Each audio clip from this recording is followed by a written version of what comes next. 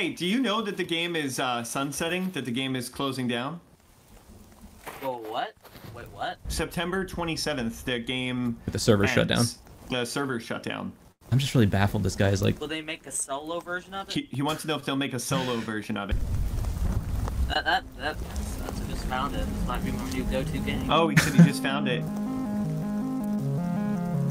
I feel like we just broke this guy's heart. I'm really sorry, man. There is a form of multimedia entertainment beyond that which is good. These games are as vast in number as they are terrible. They dwell in the dark recesses of history, unearthed from the pits of the bargain bin. These are the games of horror. This is Garbage Game Night. Welcome to Garbage Game Night, where we, like raccoons, we, we love trash. Sometimes the games are obviously trash, poor selling, panned by everyone. Other times, like tonight, we're looking at games because they're being thrown out. It is yet another live service game that's being sunset. We'll do a shallow dive into this game, and, uh, you know, the powers that be said this game wasn't good enough, but we're going to try and have some fun with it anyway. Of course, I'm going to need some help, so I've got an expert team of trash connoisseurs here. I had Frank's name on the list. He's taking care of his family, so Frank couldn't make it. But we have Tom. How are you doing tonight, Tom? Hello. Hello. I I'm doing I'm doing good. I'm doing good. I dabbled in, in the game tonight. I'm feeling feeling feeling sharp. Okay. All right. And Bob, how you doing? I'm doing fantastic. You know, it's a Monday night, a little rainy here, but it's it's nice. Yeah, you might hear some rain on Bob's tin roof. Um, he lives in a, Oh, yeah. a shack Nice. that he constructed himself out in the Everglades. So, um, yeah. Hey, you know what? This, in this economy, it's still nice. All right. yeah. I- Tin's expensive in this economy. Property think. value is still going up. It's crazy. Real quick, we're shaking up the podcast structure a little bit. I'll talk about it at the end if you're interested about some format changes you might notice, but we're not going to delay us looking at the game. So, tonight, uh, we're playing The Cycle Frontier by Yager Development, a game that, when it was released just 13 months ago in June of 2022, was the most wishlisted game on Steam. And here we are, 13 months later, doing an episode on it because the servers are shutting down. What happened, and can it still be enjoyed? Well, it's going to shut down in September, so um, you know if you can enjoy it, not for very long. But first, what is the Cycle Frontier? Very briefly, it's an extraction shooter, sometimes called a looter shooter, and I can tell you what it is very concisely. But instead, uh, Bob, why don't you give it a shot? Explain to me what an extraction shooter is. Uh, you know what? I didn't preface it all, but you know what? I'm gonna, I'm gonna go for it. So Yeah, I'm assuming it. it's your safe havens, and then you're out in the real world Uh-huh. on missions where it's kind of like PvP, and anything kind of goes. Yeah, And if you die, you lose your stuff. But if you interactive and dangerous out there, yeah, no, So it's like, pretty like good. Rust and those things. All right. Yeah, anything else, Tom? No, I think I, yeah. played I ton of extraction shooters, I know. I think this might have been the first extraction shooter I ever played. yeah, And um, honestly, uh, without getting into it too much, I really, I really liked it. I, there is something very scary, and intense about like running around and everybody's trying to kill you, especially when you're like me and you're not very good at it. sure. Yeah, extraction shooters are um, they're kind of a, a fairly new genre. Most people think of Escape from Tarkov as being the first and probably most popular extraction shooter, and they only started up in 2017. The idea is that you have a home base, kind of a safe hub. You gear up, you can buy, sell, and stuff. Go then go into a raid, which is uh, you know a hostile environment. You put everything you have on the line, everything that you're wearing on the line. And you're usually fighting AI or other players, stuffing your backpack as full as much stuff as you can, and then act, extract to get back out alive. The stakes are high. Um, like maybe this is a really good weapon that you have. It's gotten you through a whole bunch of raids, um, but someone could take it from you at any moment. You could lose the shirt on your back, and or you could make it out of there like a king. Maybe you manage to kill another player, and they've got stuff in their backpack you've never even seen before, and you just want to make it back out alive, but you hear footsteps. Do you fight? Did they hear you? It's the you know that's the typical extraction shooter experience. It's, it's loot and shooting, and I think it's the it's the next logical step after battle royales. I think um, it's it's the same similar style gameplay, but with more RPG elements, higher stakes. So um, before we actually jump into the game, we're going to hear from some of the critics and user reviews to set us up to kind of tease your palates. Uh, this game has a 59 on Metacritic of the of the 59 vintage, which is pretty standard fare for us. Um, but we're going to hear from some of the critics, so I'm sending these around. Tom, what do you have there? From GameGrin, a 65, a 65, which is uh, a little, little high for us. Mostly Flash with very little substance. The incredible graphics and overall design draw you in, but there's not much to keep you there. All right, Bob, what does PC Gamer have to say? PC Gamer gave it a 55, right down the middle. The Cycle Frontier is a well polished but undone by tedium and lack of imagination. Yeah. And NME says, There's a great game somewhere inside the cycle, and lush world design, clever environmental layout, and solid gun feel all point towards it. Unfortunately, it's all rendered into tedious, cynical nonsense by a. Cynical? I thought they would have said cyclical. Cynical, cynical nonsense by a mobile game style approach to progression and monetization, and a thin, repetitive core loop. They gave it a 40. And uh, from a couple players on Steam. Tom, what do you have there? J- Jazz Torrance. Tor- Jazz Torrance. He says, Thanks, cheaters. A good game closing soon. Recommended. Still recommending it. There's a lot. Yeah, there's a lot of mixed messaging. I, I, I'm curious. It seems that he's blaming cheaters for it being the reason closing down. I, I'm assuming you're gonna have a take on that. Yeah, yeah, we'll talk about the cheater issue with uh, the cycle. Um, Also, in the last comment, whenever someone talks about like good gun feel, that just seems like a weird comment. yeah, I mean, mm, I really like the gun feel. You're like you're holding a mouse. Like what is that? Thumper on Steam said casual sci-fi Tarkov recommended. All right, Rory on Steam says, "Don't expect to have fun if you miss the first two weeks of the wipe. You missed the window to get your kinetic arbiter and red armor. The streamers and unemployed grinders will beat you to it. The recovering in the beginning, the wipe is extremely hard. Don't waste your time. Clean your room or something. Not recommended." Mm, yeah, we'll touch on what he's talking about as well, and one more from uh, someone you may have heard of, Tom. Joe Biden. Yeah, on Steam. what? Says uh, the cheating problem is nothing like what it was before. The game is much better now, and for anyone checking the reviews, the game went through major updates since its launch and is far better now. It is a game that will get the adrenaline pumping, especially when getting out of a raid with a bag filled with high tier loot. Recommended. There you go. Thanks, Joe. Wow, Um, Joe. It's probably the most who- who complicated uh, thing Joe said in a while. Um, all right. Well, we're just gonna sink our grubby little paws into it. You guys can start playing, um, and I've got some uh, some little rules and objectives here for you. So, um, well, we normally try and take in a game. Uh, most of the feel, the game feel of it, if you will, um, the feel and the plot of a game when we do it on Love that GGN. game feel. that game feel. Uh, for the cycle, it's it's much more of like a sandbox experience. There is progression and like bigger events that you can unlock in the end game, but if you imagine trying to show someone like Fortnite or, or Call of Duty, something like that, like you, you see a game or two of it, you're going to get the feel of the general gist of what the game is. So uh, we're, we're just going to watch some of it um, on stream right now. That's just some recorded footage that uh, of me, and I'm going to jump over to those guys playing um, soon. Yeah, in, in the cycle, you're gonna run around on the planet with your gear. You're gonna run into other players. Usually, shoot on sight unless you can like yell in proxy chat. Wait, wait, wait, friendly. Uh, we could like all squad up and get into fights, but tonight we're worried about having fun. So I've got a couple activities for us to do where you guys will earn points. And you know, in these dark, dark times of, of sunsetting in the world of the Cycle Frontier, we need friends. So while you're down there on the planet of Fortuna 3, I want you to make friends. Each person that you make friends with in the game, which is completely subjective and up to me, is 100 points. So you're going to use proxy chat and uh, yeah, try to make some friends down there. Um, add-on bonus here: if you can get them to say the word raccoon without saying the word raccoon, scavenger, mask, trash, black, or brown, really the harder you make it on yourself to get them to say raccoon, I'll just give you points for that. But it's 500 points for saying the word raccoon. If Can you do me a favor? Can you put Can you put that. No. rule? Can you send that to me? And Nope, nope. You're gonna have to do the best you can. I am not gonna repeat the words. so you have to repeat them? avoid. Nope, nope. You have to This is avoid. like a movie. When they go, they're like, okay, this is the address. Go to forty eight two oh, zero. Tom I just I'd expect you like, to remember it. no, no, no, no. Say it again. Say it again. Hey, you're just I- gonna be super careful. Here's another one for you. If you can meet a stranger and get them to visit twitch.tv slash ggncast and say, I'm here because of Tom or Bob, uh, 500 points for that. All right? Holy shit. Okay. Yeah.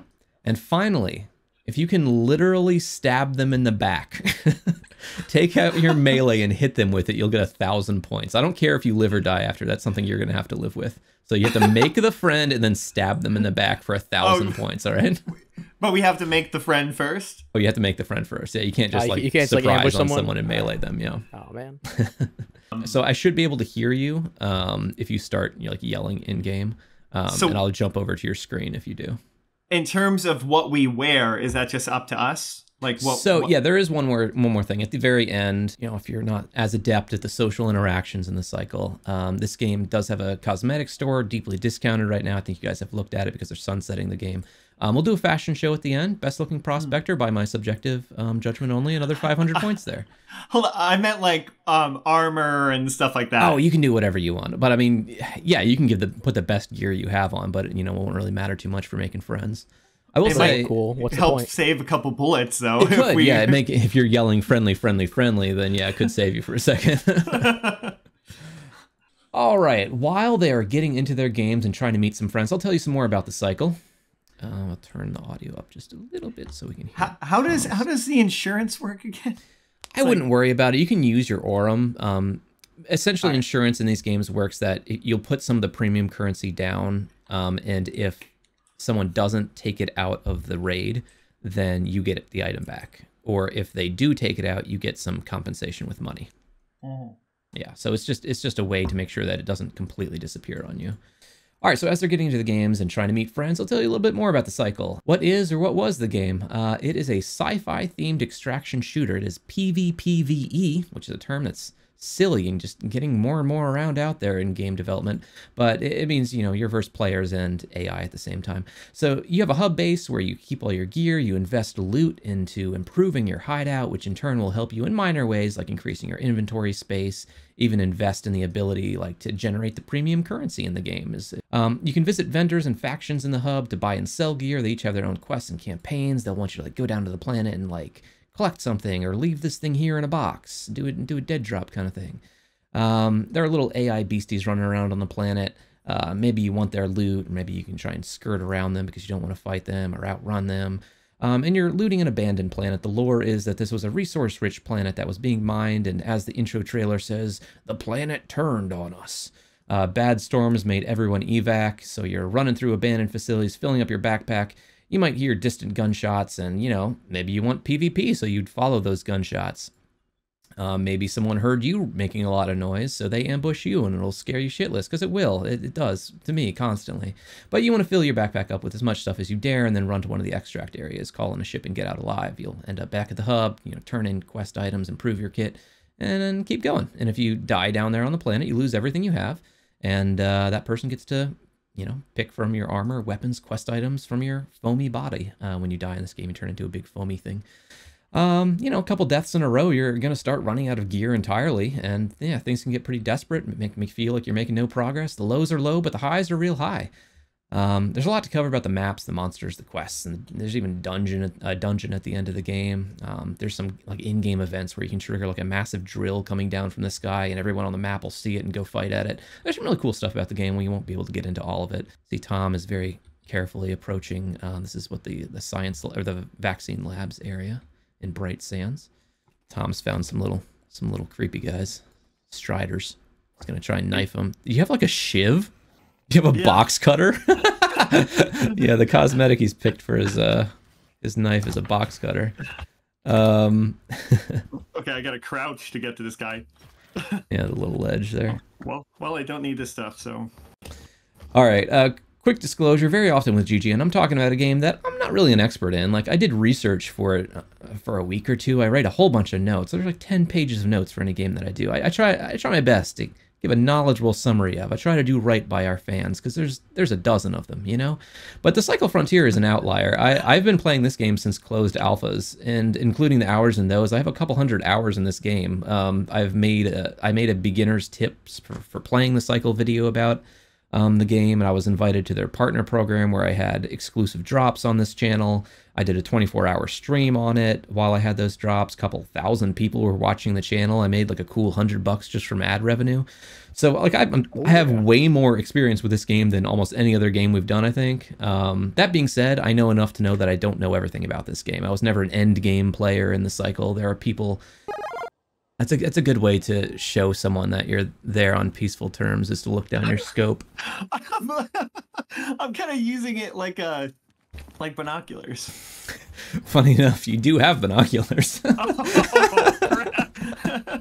Uh, there are people who have left reviews for this game that are like, eh, it's pretty good, and you can see that they have like 900 hours in the game. This is this is a game that has a l- like Warzone or, or Fortnite kind of games. They have a lot of replayability. Um, uh, well, like I'm saying, I'm not one of those, so I may mess up some details. But um, I watched someone do like a like why did the cycle close kind of kind of video, and they got so many basic facts about the game wrong that I was like, all right, uh, everyone's just out here faking it. I can make a video too.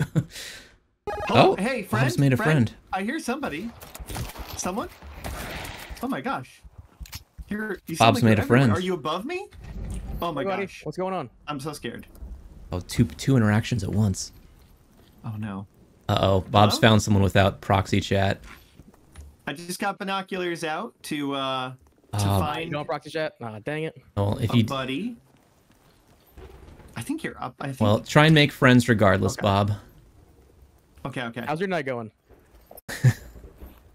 Hello? Hello? Oh, hello? talking through jumping. Love that. Hello. Hey. Hey, how's it going, man? How's it going, buddy? I'm uh Oh yeah. A little greeting, little crouch greeting. How you doing, man? Doing good? You know, I didn't expect this because this game has. Uh, do you have uh do you have chat at all? Yes? Do you want to it's so you wanna be rare to run into someone you that wanna- doesn't have a worry about mic. would you want to nod yes if you want to be friends? Look at his gear. Holy shit. Oh, I guess it doesn't matter. It, it's just nod, cosmetics. Nod yes if you want to be buddies. Okay. Oh, there you go. Are you there? Yeah. Yes. Oh, there you go. How's it going, man? Trying to hunt creatures inside the campus. Right. Nice. I I can help you. I am an ambassador from um from GGN from Garbage Game Night. It's actually running on it's running on Twitch right now. You are you're famous to all two of our uh viewers. Okay. Yeah, yeah, it's pretty pretty cool. What do you what do you say? Do you think we're uh we're officially buddies, you and I? Yeah. wow. Nice, There it is. nice. Congratulations. Very, 100 very points cool. on the board. Um, if you want, if you actually go on to twitch.tv slash uh, forward slash uh, GGNcast, that is where it's at, and you'd be able to see that you're famous right now. I can follow you for a bit if you want to, um, you know, if you're looking for We're, stuff, uh, I'll, I'll just kind of tag We're doing a and help you podcast about the closing of the cycle, and uh, the two people that I'm I'm doing it with here, I'm trying to I don't know if I convince them to. The. I'm trying to convince them to make friends with people, and then they have some bonus things they can do. If they can get them to say the word raccoon, they right get now. I extra can points, Stab him right in the back right now. I can do it. and they get a thousand points if they make a friend, and then they stab them in the back. Oh, what was that, bud? But half health. Do you have the mag kit? Oh, uh, yeah, I've, I've got Cool. stuff for you. Um, Love to see that helping a friend out. Love to see it. Do, how do I Press tab to open your to you? inventory. Okay, I'm being told now. Uh, tab. Drag it and off. Then drag it off and just drop it. There you go. All stuff like that. Yeah, but he's too much of a coward to do it, Healy Wheelies. I can still do it. you can do it. The rule is you can't give them forewarning. Oh, there's somebody else. Let's go find them and make friends with them, and you know, maybe Wow, that's a lot of gunfire. maybe stab them in the back because we can only be friends with one person. Bad what happened with you? You did you find somebody? I did. He didn't have a mic and he just ran away. Oh, that's too bad. Mm. I, I think I'll you did make you made a pretty good effort at making friends though, so I'll, I'll give you 25 points for that. Um, Hey, he stopped shooting me, so that's a that's a plus. oh yeah, he stopped shooting you. Nice. Oh, tell you what, 50. But I will say I did uh not restock ammo for coming here, and I'm out, and now I'm being Oh, chased. it's an important part of uh, extraction shooters. Uh, th- there was someone who rated us with 27 people, so I was I was chatting him up, um, to explaining what the heck we're doing here and why you're threatening to stab someone in the back. nice. I'm pretty sure I've seen you stream before. Um, whenever whenever I played, uh, This guy? Oh, the guy who rated us, not the guy you're talking to. Um, I'm, I'm pretty sure I've, I've seen you stream before. I think I might have run into you. Whenever I played, um, I'd, I'd always check to see if the person I, you know, encountered was streaming. And I feel like I've, I've jumped into your stream before. Yeah. Now, real quick, do we get bonus points if we get struck Nice, by yeah. lightning and killed? no, you get no bonus Asking points at all for that. For a friend. For a Okay. friend. Okay. Okay. We're gonna jump over to Bob. See if he. Oh, he. It's already happened. Okay, that's what happened to Bob. It could have been anyone. All I panned over been to your screen and uh, You're a bit of a foamy I ran mess out of I was being chased. I got struck by lightning. I'm like, oh, well, that's that's a way to go. Were you in the drop program too last Saiyan Prince? Saiyan, Saiyan. I'm sorry, Saiyan Prince. Yeah, I'm. pr- I think that's probably where I remember seeing you before. I think I remember because I, yeah, I checked out the entire list. And I remember Hey seeing Chris, you. how do. I find out what his like name is and stuff? Is there a way to uh, check a gamer Try tag asking. while you're in game? Oh, I if meant there like, is. does it just like have a thing over? Like, there's no indication of. At the very end, it'll show you everyone you were within proximity of or you took damage from, um, so you can see their like their in-game tag um, at that Got it. point. Oh, he's out of ammo. This guy seems really interested in like playing the game, like leveling up the objectives and stuff. Ask him if he like his thoughts on the game closing. Does he know? His thoughts on what? Like, does he know the game's sunsetting? Hey, do you know that the game is uh, sunsetting? That the game is closing down? Whoa, what? Wait, what? Yeah, he said. Yeah, the game is. I can hear It's him. gonna like it's gonna end like forever. In September 27th, Sep- September tw- September 27th, the game. with the server shut down. The server shut down. I'm just really baffled. This guy is like, Will they make a solo version of it? He, he wants to know if they'll make a solo version of it. they haven't announced that they will. No. They they have not announced that they will. Sorry, the, the, our our guy running the uh, podcast, he's feeding me information because I'm stupid. That, that, that, that's, that's I just found it. This might be my new go-to game. Oh, he said he just found it and it was going to be his go-to game. that oh, really man, sucks. That's, that's a bummer. Yeah, September 27th is when uh, when the server shut down. I feel like we just broke this guy's heart. I'm really sorry, man. That's actually why we went uh, went on here. Is um, it's slowly going to go into the garbage can, and that's where uh, that's where we live. yeah, he's still processing it. Hey, what else? What else? Uh, what else lives in in that? You know? Wait, I couldn't quite hear you. Oh, just I was just. He's thinking trying about, to get him to say the word animal that raccoon, that's another in- in objective. filth. You know what? What would be a good animal for that? I'm trying to think. Do not actually know. You don't know. what, what, is there any when you like go to like toss your things out that sometimes they're out there? You know. And he's not allowed to cute- say the word cute, looks like raccoon or. I think he can say the word bandit. Not all. Where do you live? Wait, where do you live? I do not quite know. You don't. Oh, you don't know where you live. He is allowed to- He is allowed to say the word bandit. I think he thinks. Now he thinks you're around. weird. All right, I, I can't Like hear real life. Tom's guy, but is he is he of age? No, he's Hold on a he, second. Where? How, how old is this person? Oh, no, he don't know, sounds but uh, feels he sounds like an adult. Ask him his age. yeah, it's like, than where he lives. Yeah. what's going on over there? Where you live? I don't know. Tell me where How you old you? live. I. What's that? Ooh, flawed He's Veltecite. Gifts? Come on. I was just gonna stab him just now. This guy has found a Okay. game that he loves, and he's he's giving you his back, Tom.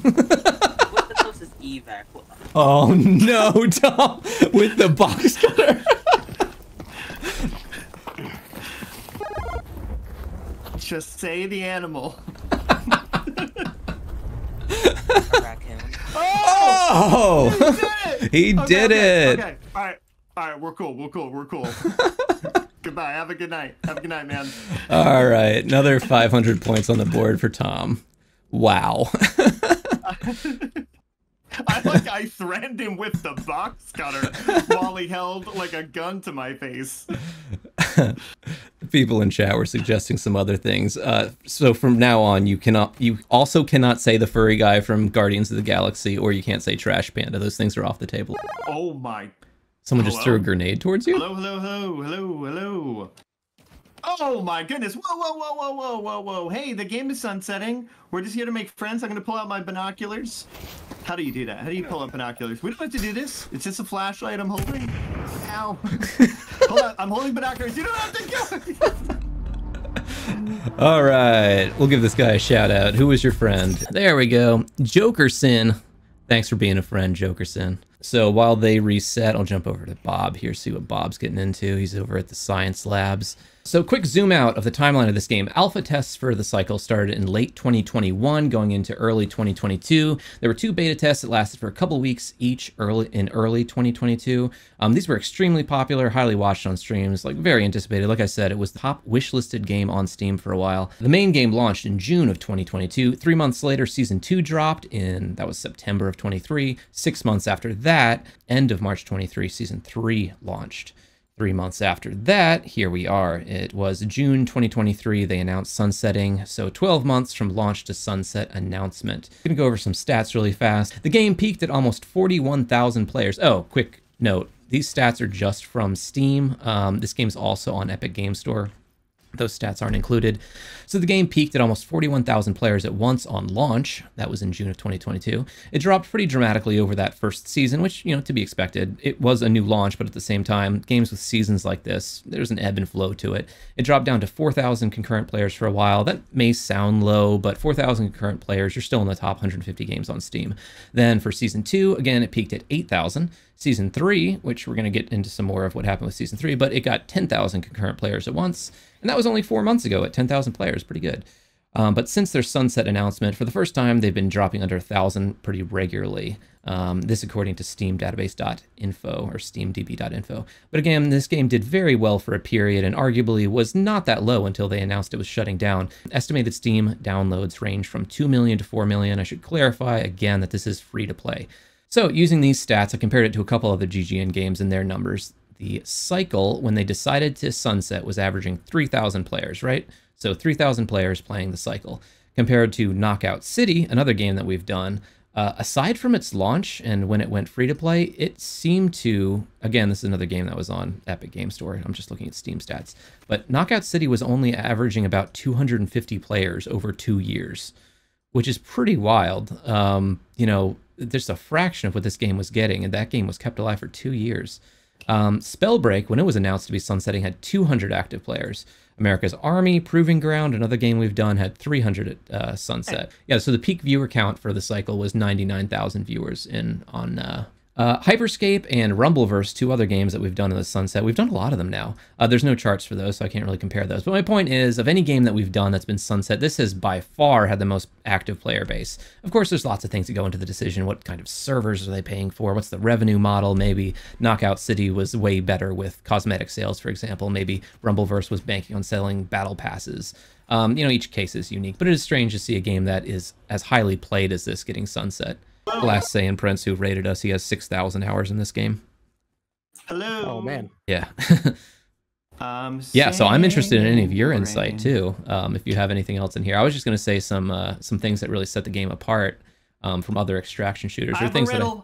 I have a riddle. I have a riddle. see what happens And with Tom you here. if you know the answer to the riddle, I will give you all my stuff. If you can tell me what critter is best suited to wear a mask and be a thief, I think that was on the ban list. I will give you all my stuff. If you can tell me what animal Mask was on the ban list. He's not Oh, getting all oh, the points. was was it was it? Dang it!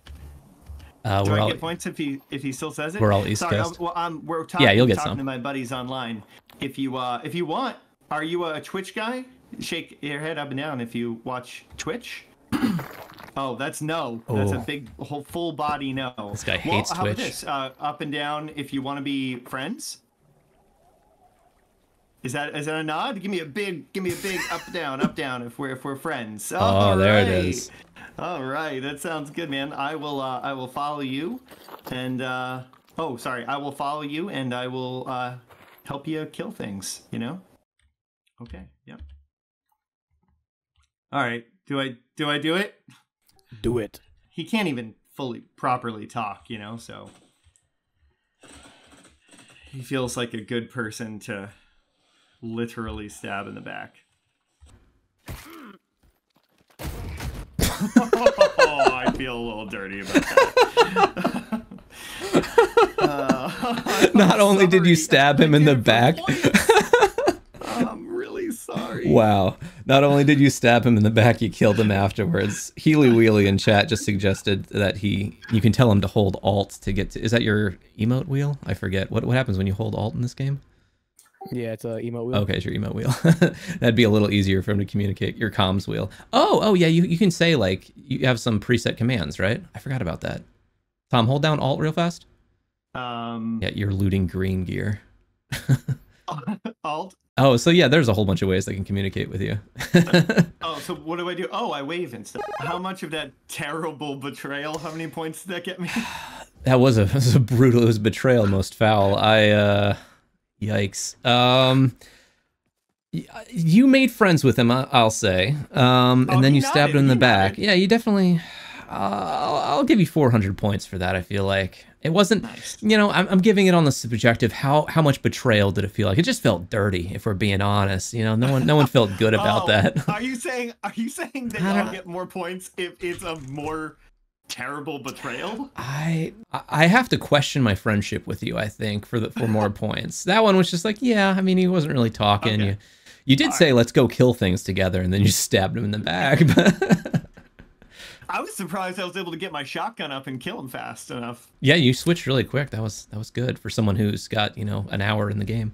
Last in Prince, who's in chat, who has six six thousand hours in the game. Yeah, he's saying that he he loves the proxy chat, the tension, um, and kind of making the fun for himself, like like we're doing, I guess.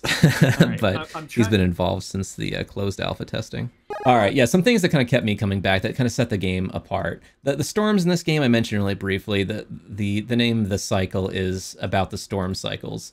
Every 30 minutes or so, there's a five minute storm that happens. You get a warning it's coming. Most people try to get extracted before it actually hits. It'll get pitch black. There's a lightning storm. It'll hit you, do lots of damage. Bob found out. Um, the AI, some of the AI will, uh, creatures will get supercharged, and you can wait it out inside.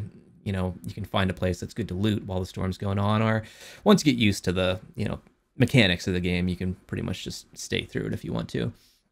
Um, some other things, the hub, um, the space station that's above the planet, that's kind of like your hub, your safe spot.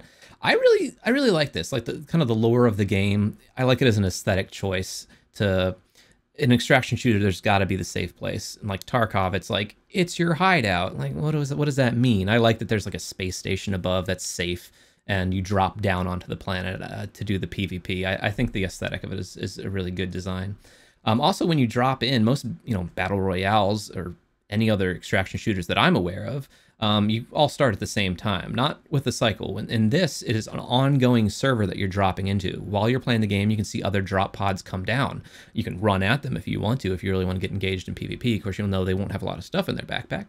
But um, again, I think that's that's a really cool choice to have it an ongoing world. The loot resets I've always felt like worked pretty good. That they respawn when you're far enough away, I think was the trigger. Um, I don't know, it all felt pretty natural to me. See other unique things. The extract in this game is pretty unique. You have two designated pads um, that you can extract from. Once you get within range, you call in the ship. It'll land within a minute and then take off shortly that window of time is extremely dangerous. It creates most of the tense moments. You know, they, they can see the ship coming in. They want to ambush you. You're trying to hold it off and just get out with all your stuff. It, it creates some really great moments. I've taken a lot of sniper shots um, personally um, as I've been trying to extract and taking shots at people as they're trying to do it. I feel like the station, if the station was expanded more like adding trading in a duel arena, it would have probably kept the game going. That's that's one of the things that stands out to me, Healy Wheelies, is that like from the beginning, I in an extraction shooter like this or any battle royale like PUBG, like you get a gun and you're not sure how it's going to handle until you fire it, right? You need some time to learn. So it just seemed like a really obvious thing that like give us a shooting range to test the guns out. And like it's right there in the hub just it I, I i can't wrap my head around why they wouldn't let you do that kind of thing.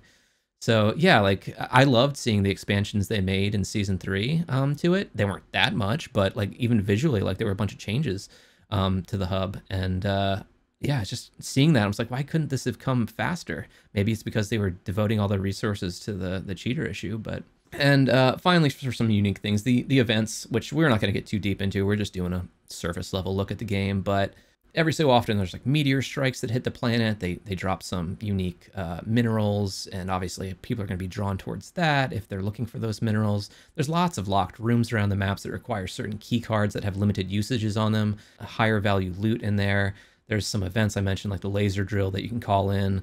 There's like a giant planet drill that comes down onto the map, and you gotta you gotta sit it out for a little while to get the loot out of it. I feel like the AI in this game is pretty unique too. Most PVE games, um, you know, they're gonna be like humanoid. They're gonna be like you know scavengers or something that you're shooting.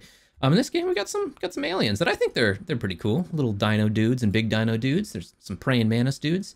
Um, I don't know. I, I just like the aesthetic and the the creatures in this game. That being said, there could have been a whole bunch more of them, but uh, I, I do like the ones that are in the game. No, no, no, no, no, no, no, no, no, no, no, no, no, no, no. It's Jeff. No, no, no, no. You don't want to make friends with Jeff? You can make friends with Jeff. Oh God. No, no, no. Get Jeff to say raccoon. oh man. Oh no, no, no, no. Yeah. Okay. I actually saw the um oh god, I'm exposing my uh lack of knowledge here. The uh giant wasp thing. Whatever with a owler. Yeah, that's cool. That was a cool design. That's the kind of thing I wish I wish they would have had like 10 different creatures like that, right? And just have them spawn extremely rarely. I hate to it's hard to talk about this game without talking about Tarkov, but you know that that's how the the raid bosses are in Tarkov. And it's a system that works. Like it keeps people playing the game because they're hunting down rare loot, right? Yay, Tom did it. Whew. All right. Is Tom making a friend? I think you. Uh, I think you did the heavy lifting, but but we did it. Do you? Uh, do you have chat? No, it doesn't No, know no, chat. you don't have wow. chat?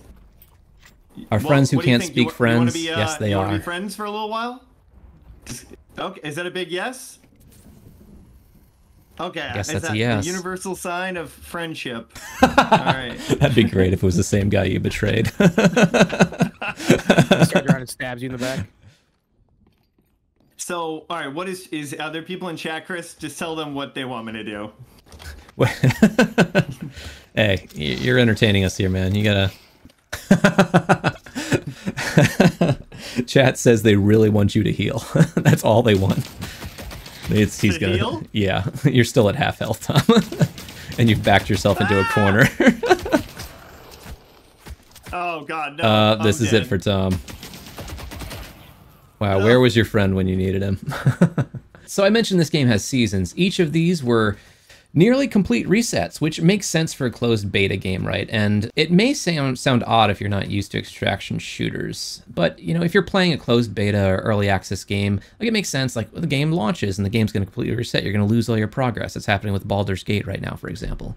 But a lot of these games, extraction shooters, it's pretty typical experience to have what, what are usually called wipes. I can't say with all certainty, I'm pretty sure it was popularized by Escape from Tarkov. That game, which has been out since 2017, still technically in, I think they call it beta, maybe early access. So, for, for the sake of development, and because they have a very vast in game economy, like they have an auction house where their pricing trends, they can get out of whack, and sometimes there's just too much high value gear in the game because of changes they've made. Every nine months or so, um, they're like, okay, we're resetting everything. Your entire account will wipe. And whether intentional or not, that became a big selling point for the game because when there is a wipe, there's a huge spike in the player base. Like, imagine a, a PvP game, like, you know, a, any PvP game that you guys would launch into, like, you know, Call of Duty or Warzone, something like that, where, you know, the more people play, the stronger they get. And why would you want to drop into that game when you know that there's going to be a complete reset for everyone happening in a couple weeks, right? So, you know, wipes make sense that when they do them, there's going to be a huge spike in the player base. And, you know, it's exciting uh, starting from the bottom and trying to like race up to the top. You're when you're on the bottom, you know, everyone's on your level too. It's just like just the skills, right? So, as someone who watches, has watched a lot of Tarkov, like the, the rags to riches runs that happen at the beginning of Wipe are really exciting too. But when you're watching someone who kind of has it all, you know, yeah, you got to kind of make the fun out of that. Like, like we were saying earlier. The way the Cycle Frontier incorporates this, um, I think pretty smoothly is calling them seasons, setting up a system where depending on how far along your uh, your character is getting with the cosmetics and the battle pass, you're getting some rewards that carry on to the next season. And um, correct me if I'm wrong with that, Saiyan. I'm pretty sure, I'm pretty sure that that works that way, or anyone else remembers. Um, but each season, it felt like they had a pretty clear theme with it too. And I don't know, I, I, liked their general design with the seasons. I thought they, they handled it well. It wasn't just like, our game's fucked up, we're going to reset. Went in with a pretty clear intention of wipes happening. Full wipe with each season. Yeah, what was, there was, was it like cosmetics? I guess it was cosmetics that you could unlock for that season that would carry over. That's That was the only carryover. Uh, for some reason, I was thinking there was something like you got to a certain uh, insurance tokens, Aurum and Cos. Oh, so Aurum car- carried over too. That makes sense because that's the premium currency. Yeah. I had an idea. I brought audio decoys with me because maybe they will attract people. Or you could just fire your real gun, but yeah. Oh, it sounds like a gun. That's what the yeah. It sounds like a bunch of um, explosions and gunfire. All right, uh, other extraction shooters. I've mentioned Escape from Tarkov a couple times. People who play Tarkov, whenever you ask someone who plays Tarkov about it, they usually start by telling you that they hate it.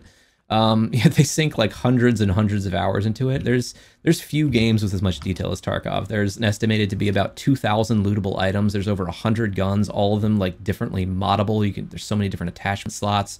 Like you can put four laser scopes on a gun underneath, above, on the sides, but each one has to have like the right mount to attach the attachment to. And if you don't set your scope right, you'll be like looking at the back of a flashlight you put on your gun. There's more than 25 ammo sizes. Each of them have variants. Like you want to run an SKS weapon? Well, you're going to need Hello, a hello. 76239. Um, and of course, there's different variants of that. There's the AP, BP, PS, US, T45M, the HP. So um, just a ridiculous amount of, of depth that game. It, like just knowing how to play the game seems like a full time job, and some people do. Yeah, and that's that's definitely a big difference with the cycle. Um, Healy Wheelie in chat says that love the simplicity of it. Yeah, there's most guns. You know, there's a couple that don't have any attachment slots, but or at least one. But yeah, that they have a, a scope slot, a handle slot, and each one does like a very clearly defined change that it'll reduce your recoil. And yeah, it's I, I don't want to simplify the cycle to say it's like a, a light version of Tarkov, but Tarkov is a, a does a lot of cool things, and this makes it so accessible. Um, that that style of game. Aside from like the aesthetic, I much rather be in like a sci-fi space setting than the Balkan states. to finish up on Tarkov, the gameplay is very similar to what we're experiencing. You gear up your hideout as you know as thin or thick as you want to go into the raid. All players in Tarkov start at the same time. Um, a twist in Tarkov's gameplay is you can be a scavenger. A scavenger, or, or scav, is a very poorly equipped AI that's running around the map. So you're usually killing a lot of them when you play the game, but you can spawn in as one of them. Um, so you know you've got like a rusty gun that it's not very reliable. Um, you start the ra- the raid later. You're hoping to scoop up all the leftovers and get out. Very popular at any moment. There's like 20,000 people watching it on Twitch. As I mentioned, there's uh, it's been in early access for six years. It's developed by Russian team Battlestate Games.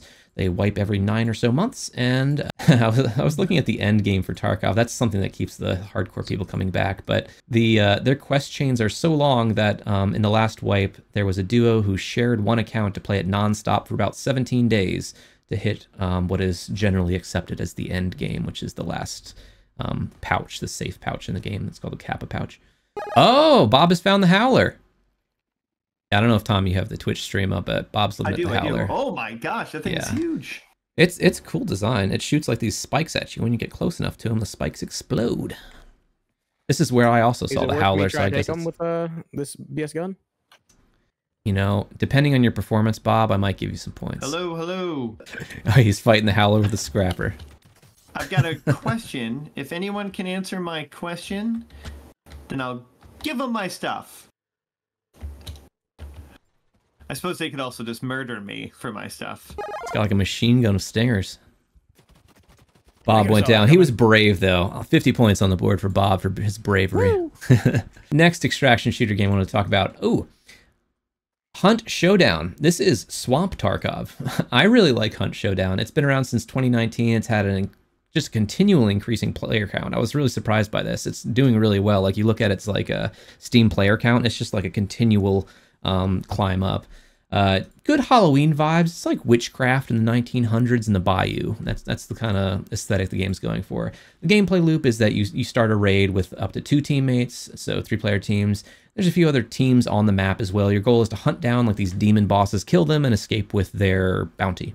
Um, there isn't much emphasis on lootable items in the hunt. Um, it's more based about your character gaining skills and unlocking more guns for your character.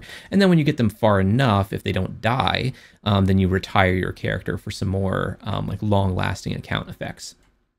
Um, so different spin on extraction shooter is a very fun game though. Next extraction shooter, Marauders. This is Space Pirate Tarkov. It is an early access. It opened up last year. It's getting it, it was getting pretty good reviews until recently. Some some people seem to think it's catering to the hardcore base too much and making the game less accessible. One note here, all these games get a ton of hype and people like really want these games to be good when new extraction shooters come out. People just can't wait for a good extraction shooter to happen. The cycle included, because like there's a big audience for this genre, but people just hate Tarkov, so they, they can't they, people can't wait for it to be replaced. All right, next extraction shooter, Call of Duty registered trademark, Warzone trademark 2.0 DMZ season 3 is now live.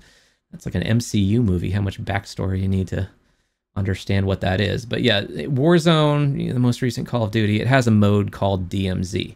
It's uh, it's can charitably call be called like Tarkov light, light, light, light, light. It's Call of Duty arcadey shooter approach to an extraction shooter. It's it's got its problems. It's you know some toxic Call of Duty community in there, but a lot of people are enjoying it. You fill your backpack up with stuff. You know they have probably have like sixty different items to fulfill quests you run around and have to do different like dead drops and stuff but you can carry your uh, a couple guns. I guess you can carry your whole kit or maybe it's just the gun.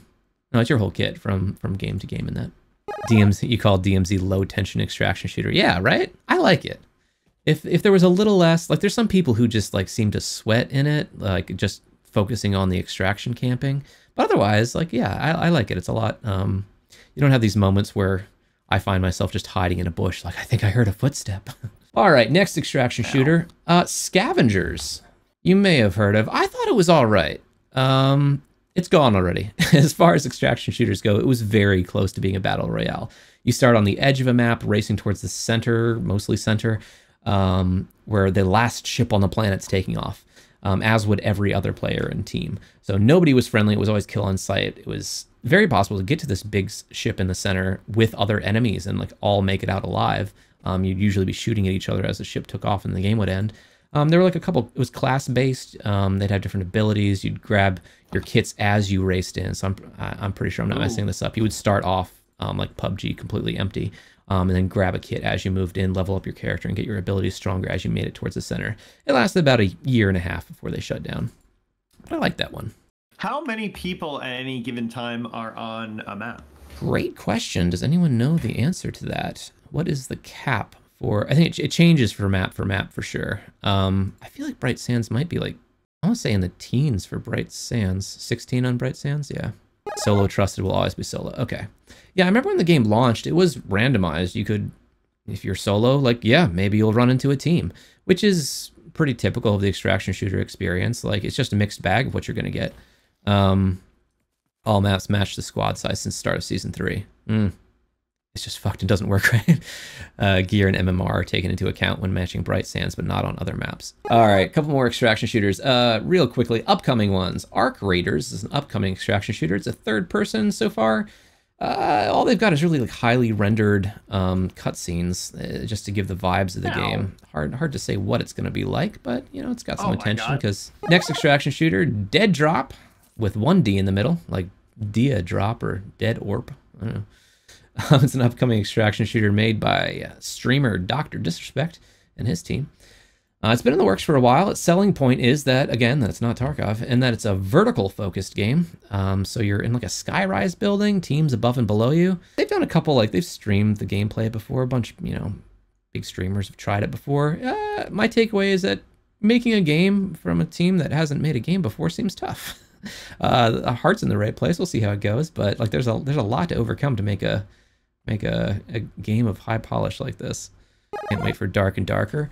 Yeah, I, I played a whole bunch of the playtests for Dark and Darker. Uh, it's got a, a lot of room to grow, Dark and Darker, but I, I really like it. I love the D&D vibes. And, and one last one, Marathon. What I've heard from watching people play Tarkov over and over again is I wish a big developer would do an extraction shooter like this um, because they complain Battlestate just doesn't have the polish. Like th- there's never been a, a, AAA kind of team that's taken on extraction shooter. Hunt is different. Uh, I think they do a good job. They're not necessarily like a level of Bungie, um, and DMZ isn't really trying to be the extraction shooter that I think people want the cycle I think is as close as, as anything um, as like a, a, new team taking on the genre. Well, at the end of May, Bungie, little company you may have heard of, made Halo and Destiny, announced that they are their next game is Marathon, reusing an IP that they made three games for back in the mid 90s.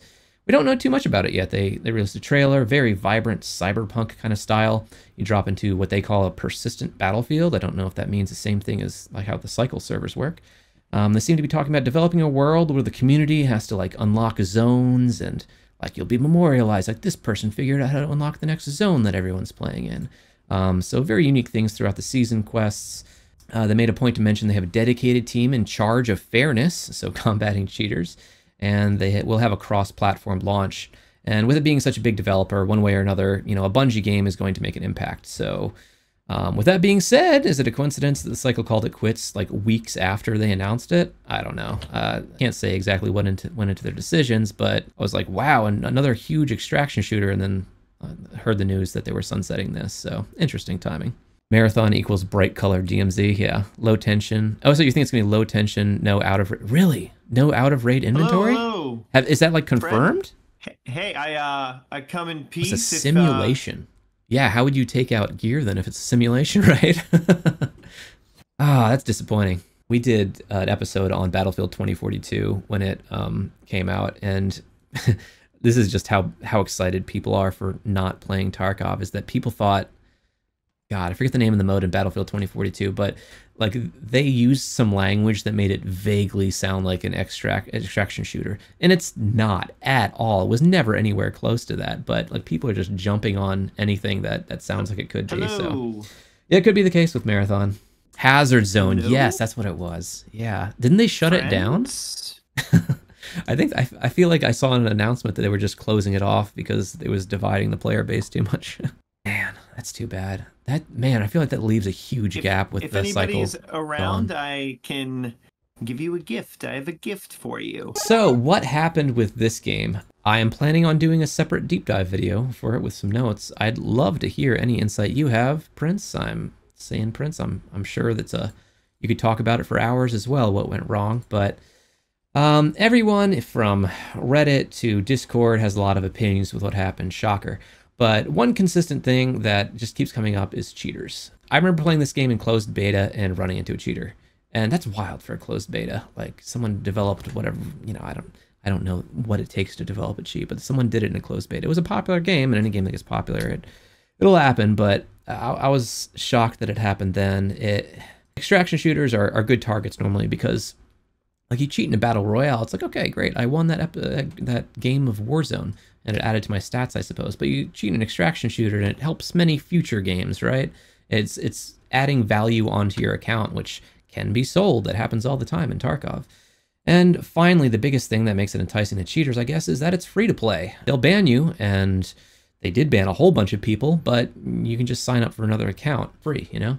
Tarkov costs like 40 bucks a pop, and they notoriously have a hacker problem, so even that isn't a huge deterrent, I guess. Um, I remember hearing people complain about it originally, I think in the beginning of season one, I'm like, I don't know, I guess there's cheaters, it just never affected me until like, I, I, there was one incident that stands out to me because it was just so disheartening of me.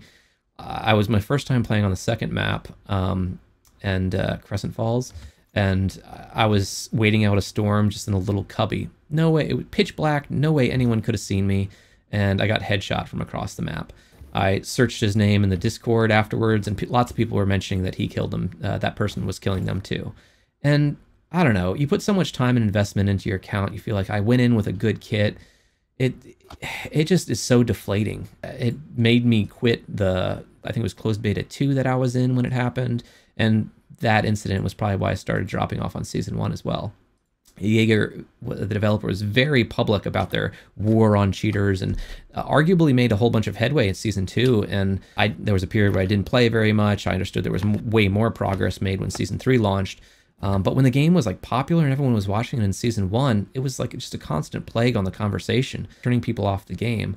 Like imagine having. Imagine having a streamer play your game to 30,000 people watching it and an invisible hacker sta- starts taunting them, right? It's not a it's not a good look and that happened multiple times. Guess what? It had such a low Oh, you found the howler again? Don't you do it. Don't you do it, Bob. You find friends. You don't fight that howler. He's not for you. Oh, you got the manticore this time though. Oh man, that thing has some kick. All right, Saiyan Prince had uh, said that it had such a low player count two months after it launched, they stopped tracking the actual player count. And uh, season one was a nightmare for cheaters. Season two, this is from Sloth though. Season one was a nightmare for cheaters. Season two was good. They put a lot of effort into getting rid of them. Howler is friend. Howler could be friend, but he already took a shot. Hey, Howler, what animal looks kind of like a bandit? cheaters hurt the player no, count. but in the end, isn't why Yager chose to close the game.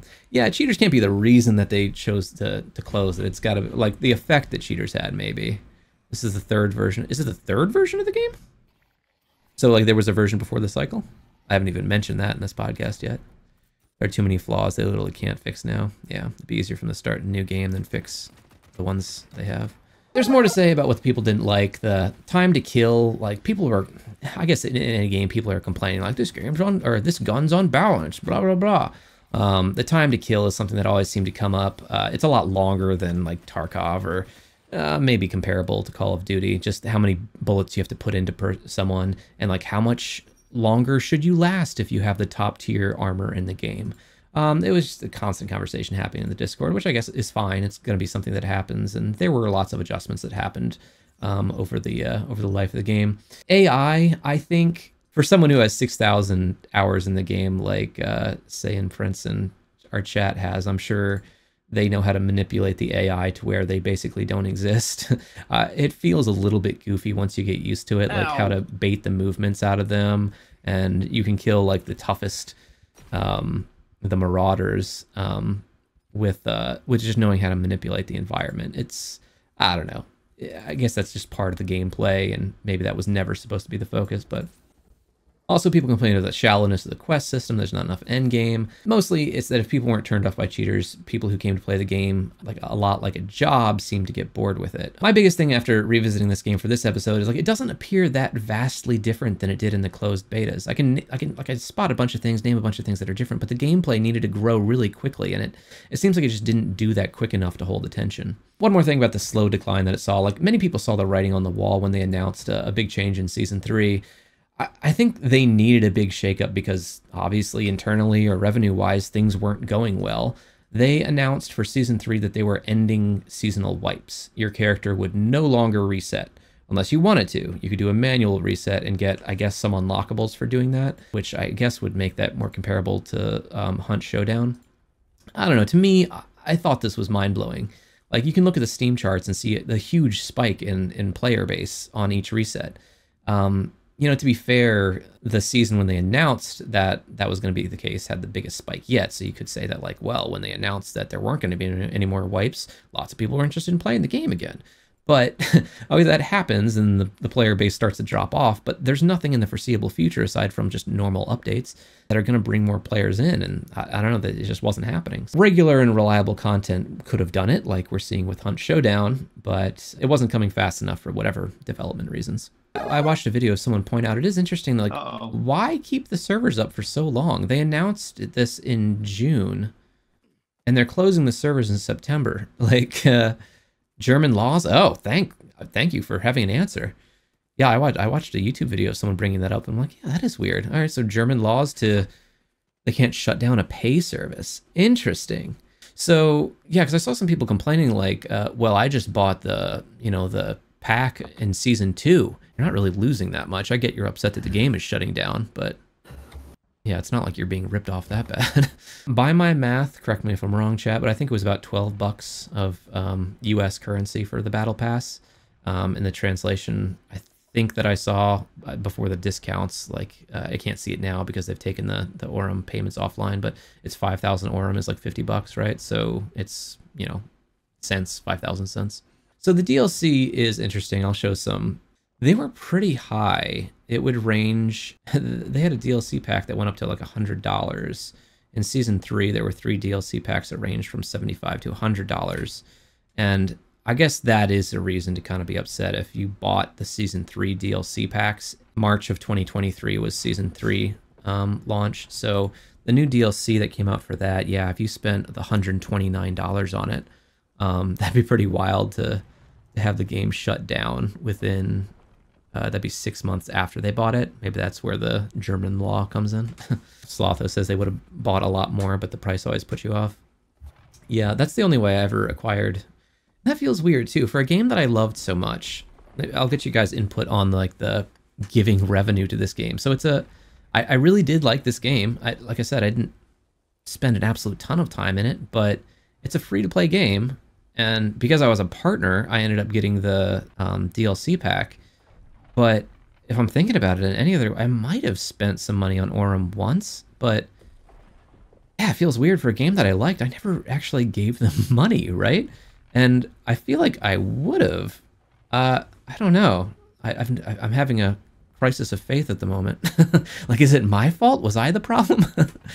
uh, Healy Wheelie said what really all killed this game was the free Aurum generator that you could upgrade. Yeah, exactly. Like that was part of the hideout, and I think it's a clever idea. You can generate the premium currency in this game if you play enough. So you can buy the battle cap, buy the battle pass by playing the game enough, right? Yeah, Slotho says they spent 100 euro from the start. Healy Wheelies, I grinded enough Aurum for my generator to get the battle pass without paying anything. Yeah, boy, it really feels like they dug themselves a hole. I um I'm a big believer in like if you're enjoying a game like this, I I'd happily spend like what ten bucks a month or something like that. Is it going to help defeat like cheaters and make the game experience better? I'd be happy to do that. I don't I don't know how much that's going to hurt the player count because you need a big player count for a game like this, but it's really odd that like they're Yeah, but that might take out the player count. Maybe add like a Yeah. premium service or yeah know something else for those players. But yeah, I feel like they make it, you know, yeah. I saw the like subscription, uh, cut it back a little bit. the I saw the hundred twenty nine dollar um, DLC pack, and I, at first I thought that was absurd, but then I realized like you know there's people out there with more money than they know what to do with. If the developers want to sell uh, some ridiculously priced cosmetic, and it, it does give them a little bit of an advantage. Um, it's like getting some of those um, boxes that you guys opened. Um, you know, you get some more gear that that does help you out. I was saying if they want to make money off someone with more money than they know what to do with, fine. But it seems like looking at their DLC is like, were you banking on all of that? They also just sold the premium currency too. You could just buy that straight out. I don't I don't know how many people would do that though. I never saw enough of a reason to do that. They have some really cool cosmetics, but Slotho said I'd end up spending way more if it didn't feel like a ripoff for things. Yeah, and everything's priced really high, right? I was I was looking at the cosmetic store right now, and everything's like 95% off, so you have enough money to buy everything. But then I was looking at the original price of it and was like, wait, is that like $20 for that skin? Like, who's gonna do that? da, da, da. Man, I got real lucky finding At those people. first, yeah, and then it's been yeah. Steam database shows how many players are playing a game. Like most played right now, Counter Strike Global Offensive, they got three quarters of a million people playing it, and Dota has like a quarter million people playing it. Going down to something around where they are, where was it? The games that were above and below the cycle were Fall Guys. Fall Guys has comparable numbers to the cycle right now. That seems crazy to me. Like, I mean, are they going to cancel Fall Guys? I mean, they might have a better revenue model. I don't know. But the original EverQuest game that's on Steam, a game that came out in 1999 and I sunk hundreds of hours into, that has just as much players as uh, the cycle. I don't know. It's just it's weird trying to understand. Like, there's so many people playing this game, and it's it's not feasible to keep it online. So for every GGN episode, the point of these points is that they're competing for a prize, and uh, usually I 3D print something that's interesting. Someone, some rogue developer maybe from Yager, has has the models from uh, the cycle, and they uploaded the stim packs as well as the health packs. So I printed a little 3D model of the health pack. Oh, I'm gonna, is- is gonna that paint this? that up real nice. Yeah, it's a uh, exact 3D model of the health kits in this game. Nice. Isn't that cool? I thought that came out pretty nice. Bob, this is your first experience with the game. I want, I want to hear what you're thinking. What do you think yeah, about the today's cycle? my first day ever. I, I I downloaded it last night. Um, I didn't play it. I just played it when I got home from work today, and I played probably for what 30 minutes, 45 minutes before the podcast started. Yeah. Uh, You know, I definitely a learning curve because I've never played one of these games really, Mhm. uh, but I like it. Have you extracted yet? Except, well, in a body bag you have, but have you extracted on a ship? I mean, yeah, I've, I've left the ship. Oh, you did? Okay. Back, got ammo and stuff like that. nice. But I mean, usually I die. That's why I'm running out of uh, decent guns. So just grab whatever I got. I, I, I will say, like games like even PUBG or like those battle royale games, I never like the uh, anxiety it gives you of like looking for somebody. Sure. And like this is, you know, this is like an extra level of. It is. It's it's that ramped up for sure. You know, you, you, you hear someone, you're like, oh, is that someone? It's like, no, no, no. Or like Yeah. the AI things creep up on you sometimes. There's a gravel sound in this game where you'll Yeah. sometimes step on like a, a stony surface and it sounds like gravel falling. It has the most anxiety and it, it, you sound like no, there was definitely a footstep over there, and you hide out in a bush for like five minutes and you're like, am I crazy? but also one of the problems with extraction shooters like this is your hearing is just as important as your your vision, and you have to crank your volume up so high because you want to hear the uh, the footsteps as soon as you can. But that also means that you just you get a jump scare every time a gunshot goes off near you. I have so many clips of me streaming this game and just me almost like losing control of my mouse when someone starts shooting at me, and then I have to find it again to, to point at them. And definitely, I- I've been scared a few times by like the little bastards. I, I don't know their names, but the little red guys Striders, yeah. kill, striders. Yeah. Like I'm doing something and I hear something. Like, what the hell is that? Look around. Next thing it just pops up out of nowhere. I'm like, oh, what the fuck? it's it's been a much different experience playing with the intent of Making finding friends. other people you know Yeah. because no, normally i'm in eh, or at least in this game i've in fear of other people Right. so i'm spending most of my time running oh god running the other way from gunshots Sure. and now it's it- it's it's kind of a fun um uh, some of my favorite gaming experiences i've had have been in games with proximity chat Yeah.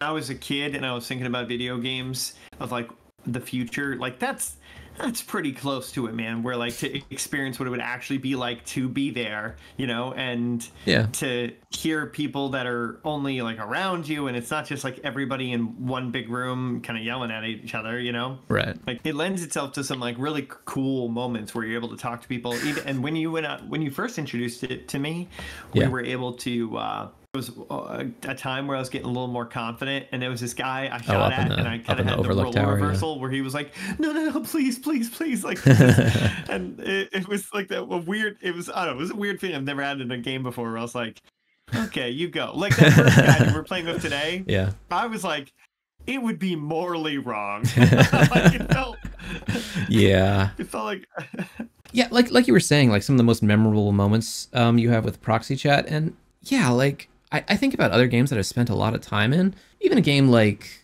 uh, like Warzone or Call of Duty, something like that. Like maybe I can remember like one or two incidents of, of me winning or something like that. These kinds of matchups, but otherwise, like it's been a lot of time that I just don't remember.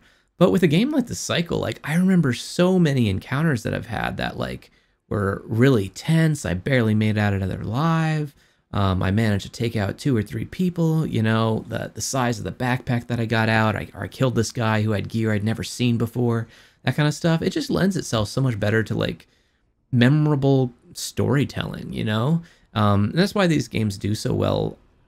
Uh, I remember getting crushed by ships multiple times. Um, uh, but has that, has that happened? Have you been Oh yeah, hundred percent. Yeah. the first you learn the first time, and then it might happen again accidentally, which definitely happened to me. Probably drop pods or different ships. Uh, by the extract ship when you get. Oh, Um, if you like yeah. wait there, he'll like land right on you. Yeah, yeah. Ah, gotcha. For GGN the podcast, we always rate our games a little something we call the garbage scale. Um, so games can be perfect, like uh, oh I don't know, Ocarina of Time. This is gonna be a perfect ten, right? There's also games that do a little worse and they're going to get down to zero, but we have a scale that goes all the way to negative 10. What that shows is that you're getting enjoyment out of again, but it's for all the wrong reasons. So for a game like this, I think well, a good chance it's all going to be on the positive side. This isn't a, a game that's so bad it's good, but we'll still give it a Garbage Valley score. So what do you guys think? Where does this fall on the Garbage Valley score system? I agree with you. I think it is a good game, and it sounds like for the most part, like all the complaints come from like people spoiling it, you know, which is which is sad. But I I think my experiences with it, I haven't at least I didn't think I ran into any Still out of um, cheaters. Proximity chat lends itself to some pretty cool stuff, and um, like that tension, like you said, uh, storytelling moments, like proximity chat gives you like a chance to interact with people that's a lot different than a, a lot of other games uh, to, to uh to, even that first one the way I had with that guy like that's it's just weird to be able to like meet someone seemingly on an alien planet and you're just like hey we'll be buddies like that's Yeah. and you could shoot each other at any time like it's a Or weird, stab in the back. You know? yeah, stab in the back. um Yeah. I uh yeah I'm still proud of that man I stabbed that guy and shot him quick You did. it Um, was it was fast. um I mean, he couldn't talk. He couldn't talk. I feel like that was a good, a good enough reason that we we couldn't communicate. That Put him out of his sounds misery. really Wow. it's good enough reason to kill someone. awful. yeah, now that I say it, I'm like, no, that's that's not right. That's that's not how I'm supposed to say it. Yeah, I I thought it was I thought it was a, a, a good game, uh, and I I think I'd be remiss in giving it any lower than like a seven point five. Seven point five. Awesome. All right. Real quick, while it's, while it's on my mind, uh, there was, they mentioned in chat that. So I'll get into it in the deep dive, but this game apparently has gone through three iterations. The first one seemed like it was a very small internal thing, I guess, uh, or the it's called the Prospector. I have to follow up on it. The second version did have a full launch on Epic Game Store, and it was called just The Cycle. And this was a more PvP VE experience, but it was a lot more like a battle royale. Um, it was not a big open map that was a looter shooter like this. Um, because it had limited success, they took it down and just completely reworked it into what you're seeing now. Oh, it was called Storm Chasers. That's right. Yeah, this is in its third iteration now. And saying Prince, you were saying that you don't think they're going to reuse the assets for another version. What I was getting at with that though is that like it is really impressive that uh, to create a game like this with a loot pool with enemies and to, to launch it like this. It's a lot in a game, even if it's not as much as other games like Tarkov that takes a really long time to get there. But they were able to do it because they were building from kind of an already developed game. They were repurposing something to get here. What kind of shocks me is that like the transformation that it went from Cycle Storm Chasers to the Cycle Frontier just seems to me like so vast. It's such a different game than what it was um, and I'll have some video gameplay of it of what it was. It, it just seems so so different, and yet in the entire time the game's been live, it just seems like development almost stalled. And maybe it's because they were fighting cheaters the whole time. But even looking back at the Storm Chasers version, like they have like uh, little humanoid like bots and a lot more creatures too. So it it seems like they have the assets there. Um, oh man, I've had a couple good fights hiding out on this rooftop. So I was saying like they had the assets and it just it stands out to me as odd that they didn't incorporate more of that. Something that I always thought would have worked well was they have these humanoid robots that are armed already from their assets. Why don't they just like kind of put them all over the map? And that would really mix up some of the gameplay feel. And you could even do it as like an event like today there's robots uh, on the map and they are all armed with scrappers or whatever. That way, at least when you heard gunshots, you'd be like, I don't know what it is. Should I get engaged with it? You know? As it is right now, you hear a gunshot on the map, you're like, it's a player. The cobots, yeah, that's what they were called. They can't add anything because when they do, it'll break 20 things. Yeah, is that the case? Oh, and you're saying that the assets are amazing. It's the code behind it that sucks. That's fascinating because it feels like they they did some amazing stuff to get it here. Is it your opinion then that like they have broken too many things with it going from three through three different versions? I was gonna say that um, you're under NDA, but uh, did you do some of the uh, what's it called the test servers as well? Was there a lot of stuff that happened in there that they should have started over with Frontier and waited another year? Yeah, I just built it from the ground up. What could have been? What could have been? Yeah, I'm, I'm curious. You're saying that it would have broken a lot of things, tested a lot of things, and didn't make it interesting. Interesting. Lots of bugs and errors and every fucking thing they added. Yeah. Bob, obviously you have a less experience with it. Uh, We hoped that Frank could be here. Frank played this game with me uh, a handful of times, and he actually, uh, sorry, before I get on to you, Bob, Frank was very excited at the prospect of no more wipes for this game. He thought it would make him play it a lot more. Spoiler, it didn't, but uh, he, he felt that way about them announcing it. Yeah, because he, he didn't like the idea of investing time into a season to have it wiped. You, me, and Frank all um, played together a little bit, actually. Yeah, and I think Hunter might have jumped in a couple games too, and I think that was during my 24 hour stream. Yeah, Bob. So, what do you think? You have a some brief experience with it, but where would you put it on the scale? All right, so yeah, I'm not uh, you know, too experienced with the game to get my first time playing it. Uh, and First I'll be impressions. honest, I also like also these games aren't really my thing. Again, I'm, I'm with Frank. We're you know working towards something and have it just wiped kind of sucks. I'm like, oh, what's the point of like putting all this time in if it's gonna just lose it? Yeah. That's why I also don't like games like you know League of Legends or even like I don't know some other like. In other words, like oh, like the whole match is like building your stuff, and at the end you just lose it all. It's like oh, so why'd I? Oh, so okay, I'm got you. You're more into the an RPG that stays. You don't like the Yeah, idea of an I mean, resetting I- RPG. I- I've had a love affair with uh, World of Warcraft for the past I don't know, Sure. twelve years. Sure. So you know, I, I, it always calls me back whenever I play games. Like, yeah, let me just go back to and see what's going Yeah, on just there. test it out. Yeah. yeah, yeah. So that, that's where I'm at with it. Um, but also, I do. It does feel good. I mean, I know it's towards the end now, so it's already kind of established. I'm sure there are some more buggy stuff that I'm not messing with. Yeah. Um, but I, I'd give it. I mean, it's definitely a good game. I kind of hate to see it go because it feels fun and I can see how people enjoy this. Yeah. But just because my not my kind of go-to game that I'm not going to play a lot, uh, I'm gonna give it a solid 6.5. Six point five. All right. Um. Yeah. For me, I I really did love this game. I watched a ton of games like Tarkov, these in-depth games that I knew I'd never be able to get into, and then this game came around, and it was I felt like it was perfect for me. Yeah, it was just the perfect kind of casual version of that. I like I was saying, I don't think I'm even that good at it, but the interactions are great. I love the tension, gets your heart racing. The journeys that that I created and remember. Like I, like I was saying, I have so many memories of like different gunfights and getting out with gear that I that I hadn't had before. Um, I couldn't tell you like any memories from like I've played a lot of Apex, but like I, I can barely tell you about any of the games that I've had in that. But yeah, this game was really something special for me. So yeah, I'm gonna give it uh, I'd give it a nine, honestly. Even though like I didn't come back to it and play it that much, it was I was disheartened because of the cheaters, but the game itself I, I really enjoyed. So yeah, I'll go nine. Oh, look at that. It looks like Pride Rock. Yeah, it does. Yeah. That's when you never win the war. Wow, it's really offensive what you just said, Tom. Can't believe you would say that on. my bad, my bad. Saiyan Prince says uh, if uh, if he could rate it on what it could have been, he would give it a ten. What it ended up being, six is fair. There's so much good to ignore. necessarily like backstabby where it'd be like, oh no, no, no, Player, no, no, player. No, no. Oh, Oh, I saw this. You won't believe it. I saw this moron standing under Pride Rock, I- sky I was free, I was like really that red run, geared made- out of his mind. I made a point to like to shoot a lot, and I was hoping to draw oh, I'm someone covering in, it up. Sorry. but I did.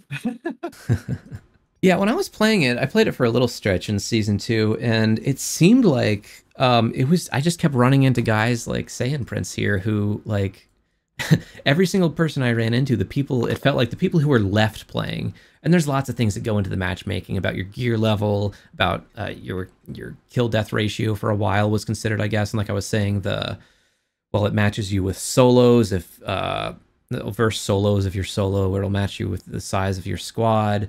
And what was the other thing I was going to say? There's another. Oh, the trusted and untrusted. So there's like all these factors that are splitting up the how many people are playing, which I guess can make the server lobbies feel kind of empty sometimes. But anyway, the the way that I was playing, I kept felt like I kept running into the same people. I was playing. I played for like six hours one night. I remember, and game after game, I kept running into the same people. Like we'd met, we'd meet up, be friends, and then like, oh, let's team up and get these people. And I'd look at the names and like, oh, we killed this guy. And then the next game I got into was like, wait, I teamed up with this guy, and you wouldn't even know until afterwards. And you're looking at the prox, uh, the proximity chat and stuff. But it just seemed like it was a really small pool of people, um, and that was that was kind of surprising.